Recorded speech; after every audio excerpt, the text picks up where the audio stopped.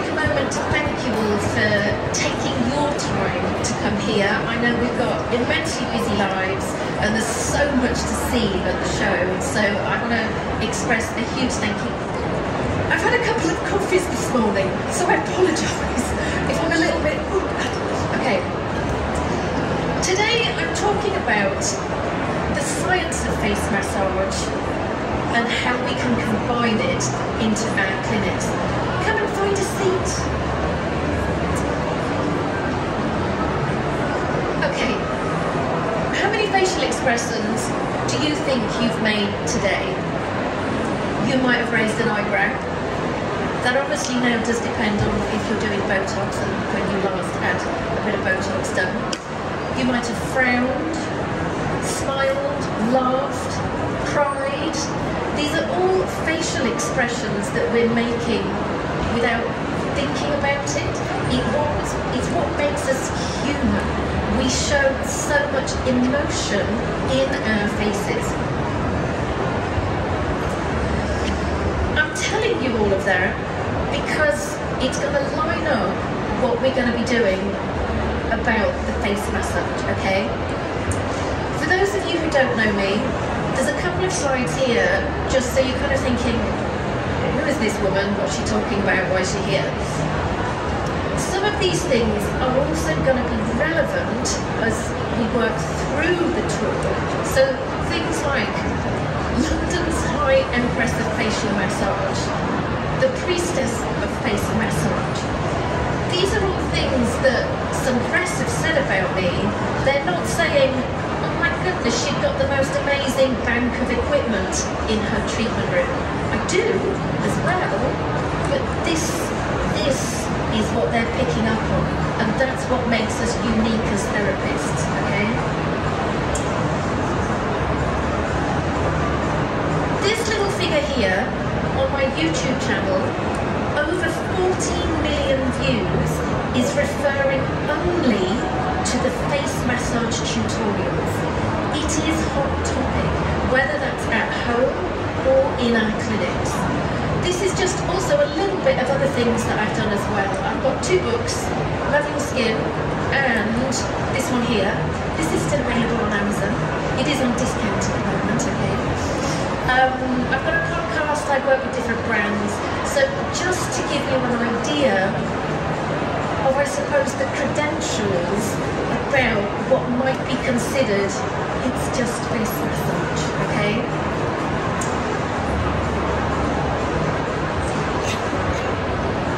Let's have a little bit of a hands up about who we've got in the room. Have we got therapists in the room? Yes, there okay, a lot of individual practitioners. Any clinic owners? Yes. Uh, okay. Uh, any dermatologists or nurse practitioners? Okay, brilliant. That gives me an idea who we're kind of talking to. So I've been doing this for over 20 years. Am a working therapist. I've been the mobile therapist. I've worked in hair salons. I've worked in five-star hotels.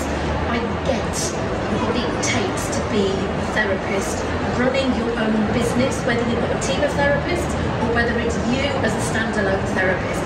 It's tough and it's multifaceted, okay? There are some key points here that I'm pretty sure we will all be able to relate to. You're feeling the market for therapists is increasingly competitive, which is it's a good thing. There is demand out there, but it's becoming more difficult to get your space and hold your space within the industry. You want more repeat bookings. I mean, I think as therapists, a lot of us chose to be therapists because we've got that passion about what we do, but fundamentally, unless we're earning a living, it's a hobby. Yeah, we need repeat bookings, we need that income. You've got all the tech, but you feel that you're competing with the dermatologists. I mean, I don't know how long you guys have been here this morning, but the beauty shows, professional beauty, we've got lasers and radio frequency and a whole load more tech that we actually might have a machine, and I do have some of these amazing machines here in my clinic. But a dermatologist will have that machine as well. And I think the consumer, because they might have the title dermatologist, they think, ah, they're going to be better. We need to hold on to our skills and go, do you know what? I am just as relevant. My treatments are probably adding a different aspect. And as we go through today, I'm hoping you'll glean how can be the most amazing tool, whether you just do the massage side of things or in combination with the investment in tech as well. Maybe tech's not your thing. You know, I know there's many therapists that it's just not their bag. You, you might be a massage therapist and you just love the holistic side of things. Maybe you're newly qualified. I don't know about you guys, but I know, hello, come on in, take a seat. I know when I first studied and qualified, I was like, oh my goodness, I feel like Pandora's box has just been opened up. I literally know nothing, even though you've just qualified and you, you, you do know a lot. But it's a continual learning journey. So maybe you're thinking of kind of adding to your skill set. Maybe you trained a long time ago.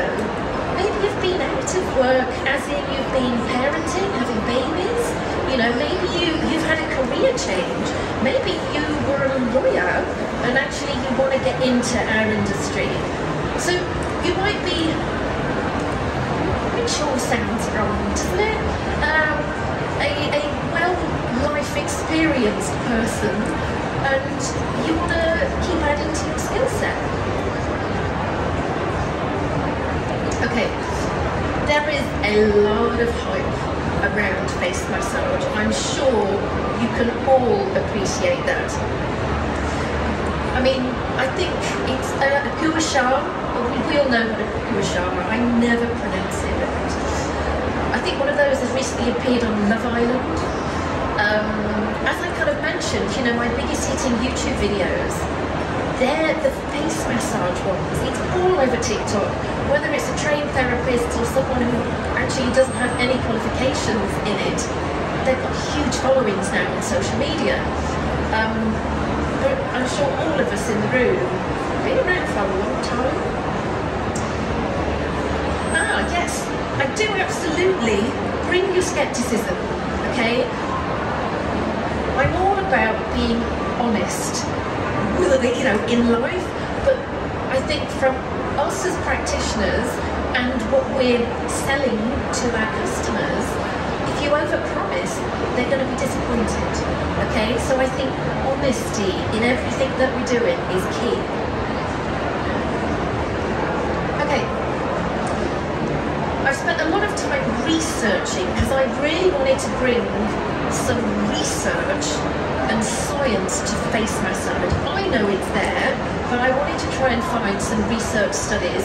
So as we go through, I've picked out seven core areas that I've, I've got some research on that I really wanted to share. So boosting blood circulation, bringing glow, draining lymph, relieving pain, rejuvenating appearance, lifting face contour, and supporting mental health. This is the little bit of magic, this one in the middle, okay? So we're going to explore all of these as we, we go through the talk. We're going to work on the physical stuff, and then we'll get into the magical stuff. And I'm also, we're going to talk about what it can't do, okay? I think we need to say it's not going to give the effect of Botox. It's not it's not going to do what radio frequency can do for lifting. It is not going to smooth the skin and heal scarring like needling can do and some lasers. It is not going to treat pigmentation like IPL. Just a fact. And if there's, you know, anything that you're reading online going, oh yes, it's going to, it is not. Okay? It is not going to refine your pores. Okay? So you might be thinking, this all sounds rubbish, what the hell is he going to do? We're going to have a little bit of a dive into face, face massage 101. It is not new. It has been around, as far as I could research, for 5,000 years and it dates back to India. Let me just have a bit of water. Traditionally used for pain.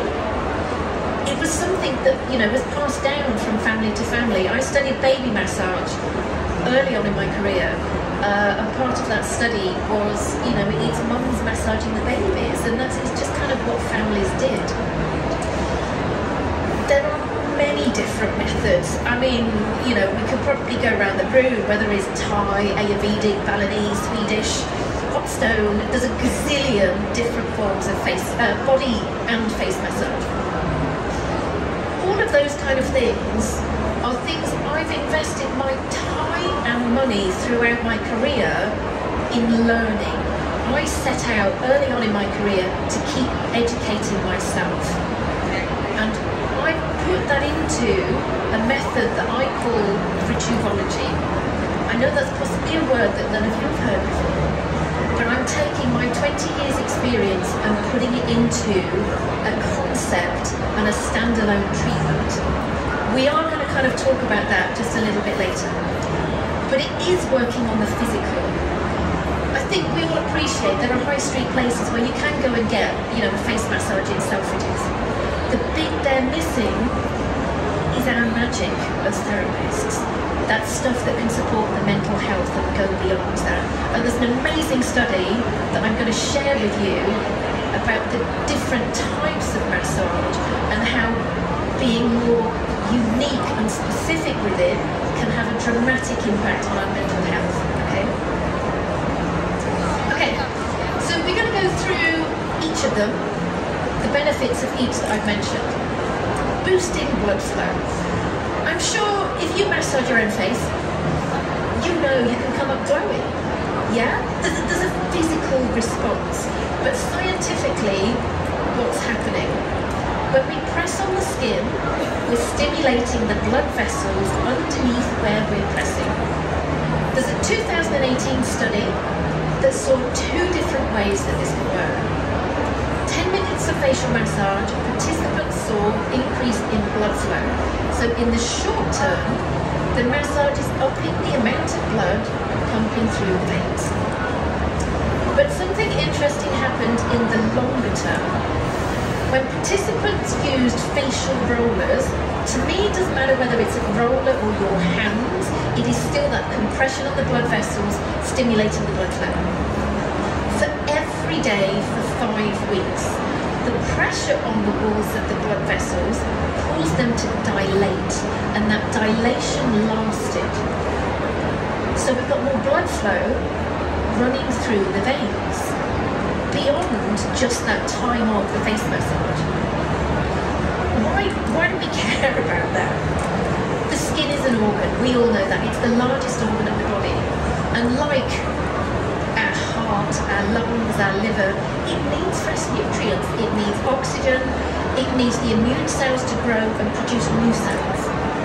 Our blood carries this to the skin. So fundamentally, if we've got more blood flow going to the skin, we've got more of all this good stuff feeding our skin cells, making the skin cell healthier. And boosting circulation, this is purely just on the blood side of things. We're going to come on to the muscles and everything else in a bit. That's a little bit where some of this amazing rejuvenation can happen, okay? Glow. How many of you, when you get a new client or even a returning client, they go, oh my goodness, I just look so dull, I feel I look washed out. You know, you ask, what do you want to achieve? I just want to look, A, they usually say 10 years younger, as a joke, obviously. Um, I just want to healthy again. Glow, we can prove that massage is doing that scientifically. Um, we've got the inner glow that massage can do, some of that magic, inner glow. If we're glowing, we feel more confident. If we're radiant, it boosts our mental health because we're like, do you know what? I'm kind of on it today. I've, I can do this.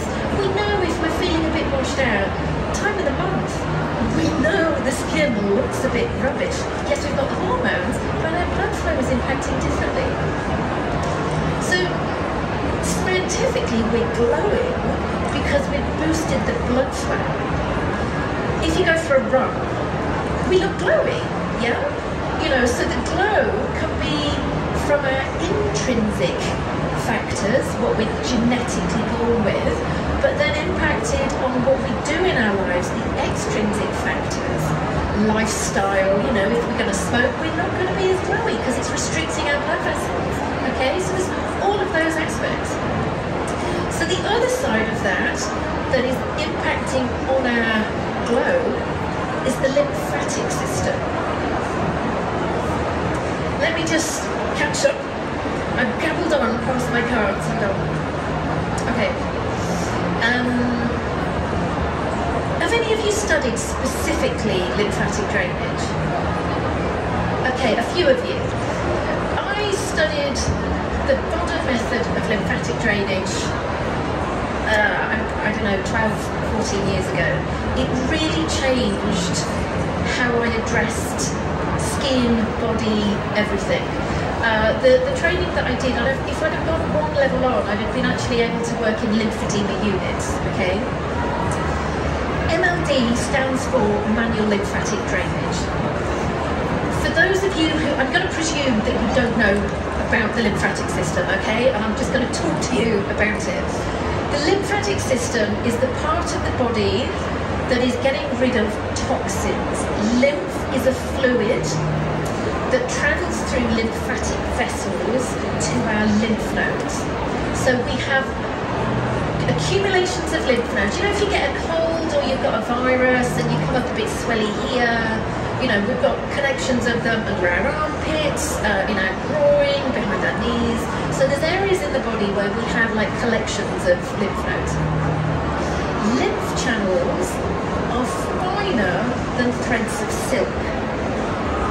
Whereas a vein is a solid vessel. So, you know, if you squish the vein, the blood stays within the vein, yeah? If you squish a lymph vessel, the fluid can actually travel out of the vessel into the tissue around it. So when our body is overloaded, and we've got too many toxins or, you know, we're, we're fighting off viruses, that's where we can get puffiness and swelling. So in its extreme form, years ago when uh, they would do um, breast cancer surgery, it wasn't respected that the lymph vessels were so important, which blows, blows my mind. And when they were doing mastectomies, they would damage and cut the lymph vessels. And that would result, for the rest of that lady's life, her arm never being able to drain effectively as well. So manual lymphatic drainage for her is never going to fix it. But she would then have to have some kind of drainage on a regular basis to help that arm drain. The lymphatic system is so essential to our health, okay? Um, what else do I want to tell you about it? How does it work?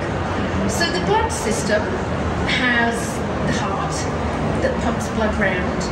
The lymphatic system doesn't have a pump, but it naturally has a process called peristalsis. So our guts move food through a rhythmical squishing of the guts. That's what peristalsis is, and the lymphatic system has that, so we can naturally move lymph around the body on its own. However, we smoke, we drink, we party, we get ill, toxins all around us. All of those things, we sit, we're sluggish. All of those things will impact on how effective the lymphatic system is, okay? So if we go back to our glow, if our lymph system isn't kind of on form, we're not going to look as glowy. We might be waking up with puffy eyes, just feeling like puffy in your faces. If you've ever been on a hen weekend or something, your face is just Yeah, what is this? You know, it obviously goes with the body as well. The fascinating thing about the lymphatic system is we're moving lymph, and lymph massage is very delicate. Go back to those threads of silk, yeah? If we're working deeply, we're squishing the lymph vessels, it's not as effective. So lymph me uh, method is very delicate. Um, where was I going with that point? I'll come back to that point in a second. Okay. Medically, it is used in lymphedema units, okay? It is medically recognised. It can speed up the healing of injuries. Uh, there was a study done I don't think I've got it written on here, in 2007, where it was proven to bring down the swelling after a patient had had their molars taken out. And I know certain plastic surgeons might actually have, as a referral, an MLD therapist because they know if they can have some MLD before surgery and post-surgery, it speeds the healing process up. That is medically recognised, okay? rejuvenating appearance. When I'm saying rejuvenating, I'm, I'm kind of talking about the anti-aging effect. And I know anti-aging, none of us like that word anymore. So I much prefer using the word aging well. And this is something that is core to my concept of rejuvology. Aging well yes, it's what we're eating, it's what we're doing with our lives, it's our mental health. Because, hey, I'm, I'm kind of one of those people that suffers with mental health, and I know when I'm not in a good place, the rest of my life falls apart. Mental health so is so essential, and I think the aging well side of it isn't just the modern day concept of I've got smooth skin. It goes way beyond that. Yes, it's the technology. Yes, it's the skincare. Yes, it's the hands-on. Okay face massage, it's not a silver bullet, it's an as well as. Um, there are several studies that have shown that facial rejuvenation effects, including a reduction in wrinkles, sagging skin, and improvements in cheek fullness and texture, they have been studied and it has been proven.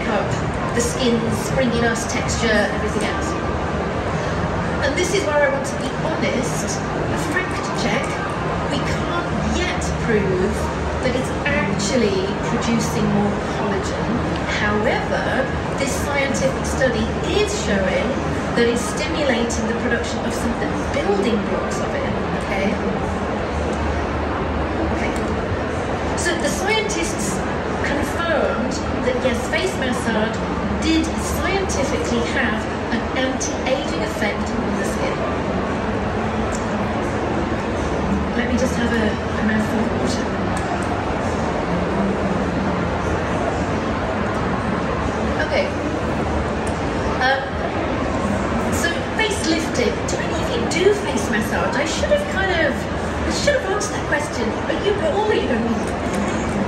So hopefully some of this science will probably, hopefully, be backing up some of what you guys are doing already, okay?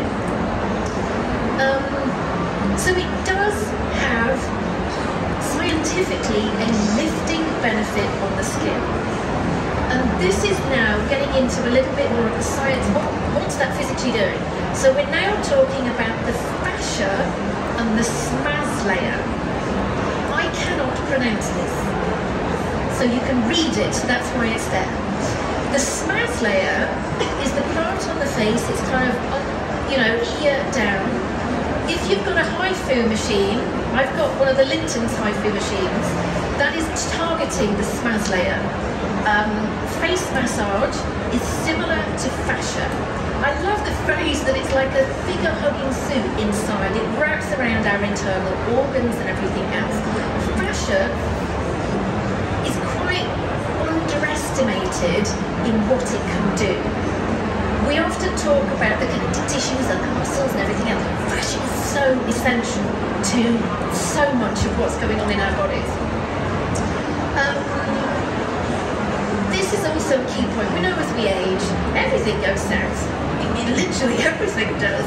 You know, our fat pads, uh, the SMAS layer drops, and everything, just gravity, it's kind of, it's just kind of what happens. If you were to get a facelift, it's the SMAS layer that the surgeon is lifting. So that just kind of highlights the importance of it with what we're physically looking at as our aging faces. Okay, so can it lift without going under the knife. It is not going to give the result of a facelift. It never will, okay? And it's never going to give the result of someone having fillers. It's just not. However, if someone is choosing to do those kind of things and Botox, they need face massage even more. Um, okay, so this is a, a fascinating study in one pilot study last year, the height of the SMAS directly after a face massage showed higher up on the face.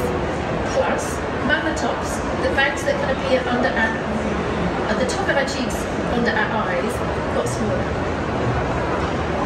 Most of these were done by someone looking, you know, a photo of, oh yes, I can see. But what's really exciting is that there was also change showed under a CT scan. They found that manual facial massage after just five minutes twice a week. Imagine how long we're massaging the face in a treatment gave a morphological change to the shape of the face. The tops of the cheeks moved upwards and the cheek muscles got thicker. That's a CT scan that has proved that. But again, fact check, this was immediately after a face massage. So this is where the repetition, if we go back to that first study about the blood vessels, repetition supporting our blood vessels longer term. So face massage, amazing if you do it once, but it's the repetition. Benefit six, easing pain. Um, think this is such a natural thing, you know, you bang your like, oh, you rub it, yeah? You know, if you've got children and your child trips over, you rub your better. We're naturally massaging to ease pain. We know it helps. Massage stimulates the parasympathetic nervous system, which there's a physical response that it helps relax our muscles. We've also got the nerve endings in the skin as well, which have that effect as well.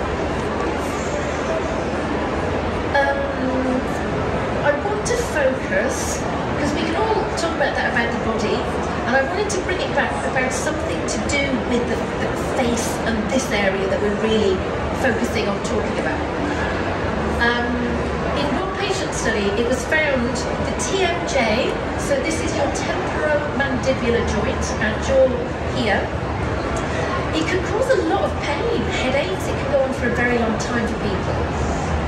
So in one study they found that combining facial massage with, because they've been having low-level treatment, laser treatment, and dry needling, basically acupuncture needles, and they weren't getting the results that they wanted. So they added in face massage and it just dramatically increased the results that they could get for that patient.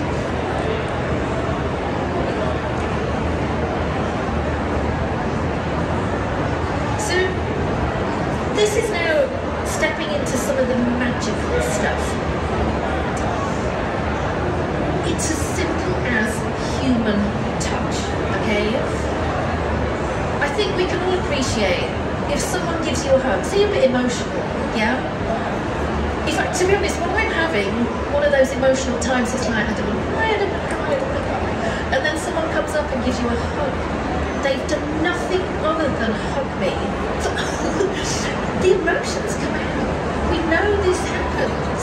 You know, you might go up to someone and rub them on their arm, go, hey, how you doing? It's human touch that's doing that, bringing about an emotional response. And I mentioned earlier that I studied baby massage really early on in my career, and I never thought the studying of baby massage would have such a profound impact on how I approach treating adults. You talk about positive touch, because we can touch, we can touch, or we can touch, yeah? So positive touch is a really important phrase. The building of the bond that happens between parent and child through touch is undeniable. And what I loved about treating babies, babies don't lie. They don't make it up that this has actually soothed me. Oh yeah, that feels better. There's a calmness that comes across them. They're not making that stuff up. I was going to swear then, I apologise. Um, okay. I think this is such an important thing. Um, and it, it can be in its most profound, you can grab someone, you can shake someone, you can cause physical pain. But you can also cause physical pain actually by a gentle touch if that person knows that you're not coming from a good place. Yeah? But it can also bring healing. That same hands can have such a profound healing effect on someone. Okay, so this is a, quite a lovely study that they did. Premature babies in intensive care units, they have to deal with a lot of pain, whether it's injections or, or whatever else that little tiny baby might be going through. Scientists puzzled of how to help support that, and they tried sugar water, which obviously giving babies sugar water has other issues. But nurses found something as simple as being held seemed to help the babies deal with that pain. That again is a baby not making that stuff up. This is an, an actual study. Emma Olsson, an intensive care nurse and researcher, she did tests on this and found that that skin to skin touch during injections just helped with reducing the distress that those babies were going through.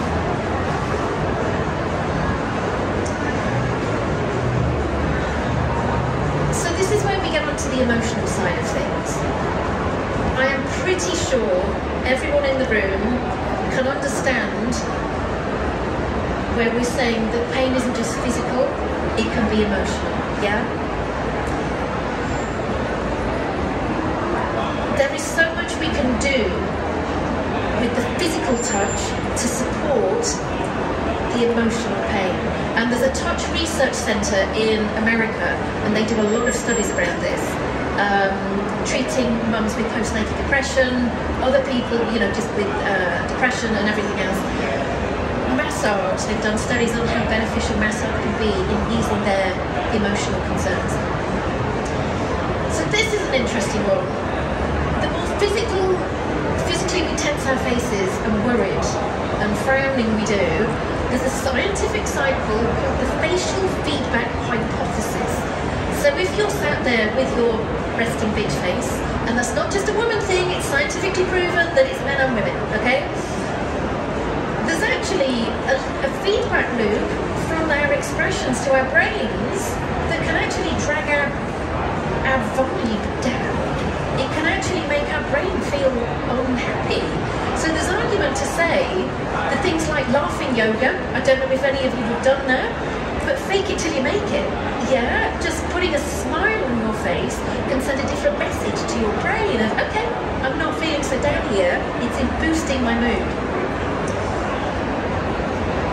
Aspect of this that I find fascinating, and I don't know as therapists whether you've experienced anything like this, but I, I've learned through my career that certain clients, when I'm working on their faces, I'm no healer by the way, but I would get an emotional feedback from the muscles I'm working on. It was a feeling I just recognized that I was getting. I didn't, I didn't know what it was. And I'm a huge believer, and it's scientifically proven, that face massage, sorry, muscles have memory. We know that scientifically. If you've been to the gym or a sporty kid, and then you haven't been, and then you start going to the gym again, your muscles are going to snap back quicker. So that's a physical memory. I believe that muscles also have an emotional memory, and that was just something I was kind of getting. We know the faces hold so much emotion. But like I said, I'm no healer, but I acknowledge it and move on, okay? Now, this is one of those magical studies. 67 women between 30 and 50. They were studying their psycho-emotional states in three different groups. Group one, general coaching and mental health advice. I'm a coach. I think this is really powerful when we're working with our minds. Group two, had that, plus I'm going to say basic face massage, clinical massage, the stuff that might be on the high street. But then group three had the coaching and the mental health advice with myofascia facial massage and working on trigger points. These are methods that I use amongst with other things as well in Rejuvology. And they had these things once a week for 10 weeks. The level of depression dropped immensely more in group three. So that is not just basic face massage. That is a different method of treating the skin, the muscles, the tissue, beyond I'm just doing a routine here. And then in this group, group three, those positive effects continued longer term. So this is, maybe this is some of this, that magic woo-woo that we've got our fascia holding emotions in. That can't be explained. But if we're going to look at some of the scientific studies and put the whole thing together, you have to start going, okay, there's a bit of magic and woo-woo going on here with the physical and the scientific. So if face massage can do all of this, what the hell can it do with all of your other stuff? Say you've got a Focus Dual or an Indiba radio frequency machine or a laser or whatever it is. With some of the tech you've got, A, is it going to increase your results? B, is it going to make your clients feel better working on the emotions? There's so many nuances. I've definitely found from my clientele after a treatment, it's what I ended up calling my signature facial the wow factor facial because before they've sat up and looked at what their face looks like, they go, wow, that felt amazing. They haven't even looked like that, you know, would have done anything to them. But it was the touch. The art and skills of positive touch can be your superpower as therapists. And when we come back to the business side of things, have clients coming back time after time. We can't with the dermatologists. We are a room of therapists and clinic owners. We've got an amazing industry. Clinics are popping up on every street corner. They are. It's just what's happening. But there's a demand for it. But if you're on your high street or working out of your home or going to people's houses, your touch is what's going to make you different to someone else who might have the same technology as you.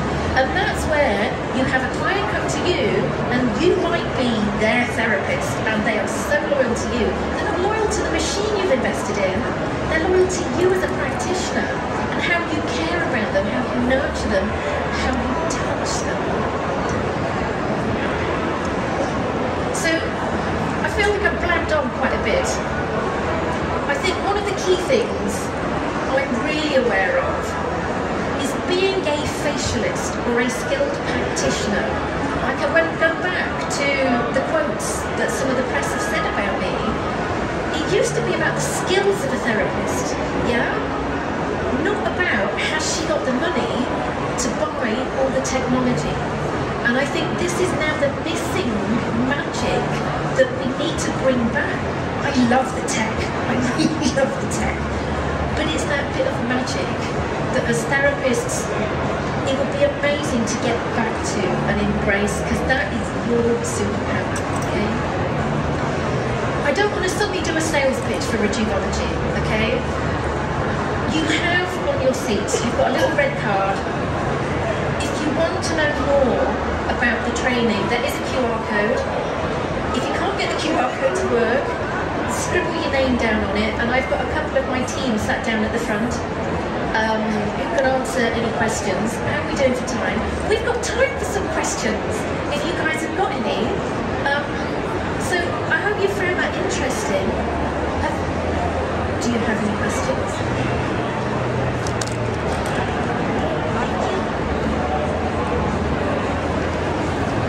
Hold on a second. We'll, I will come to you in a second. Hello. Yeah, um, so obviously you spoke about the lymphatic massage and how it has to be gentle and yeah. actually I've read like a lot and I've read it. Like you said people do it quite like aggressively. But then also, obviously when I was trained, I was taught to do vacuum suction. Yeah. So would you say that it's fine or is that like aggressive? Yeah, yeah. It's a great, great point actually. So vacuum suction or facial cupping, because you can do it manually with facial cups as well, that's what's called a negative pressure, okay? A pressure is pushing in, which physical massage does, whether that's delicate or firm. A negative pressure is when you're sucking the tissue out, yeah? So with that negative pressure, it's almost a lifting of the tissue to then shift the fluid. Yeah, yeah, yeah. So gua sha and facial rollers, I know you'll see videos out there that say, hey, you can use this to drain lymph. It's, uh, it's kind of skeptical to be honest because you're pressing in, whereas the facial cupping will drain it, okay?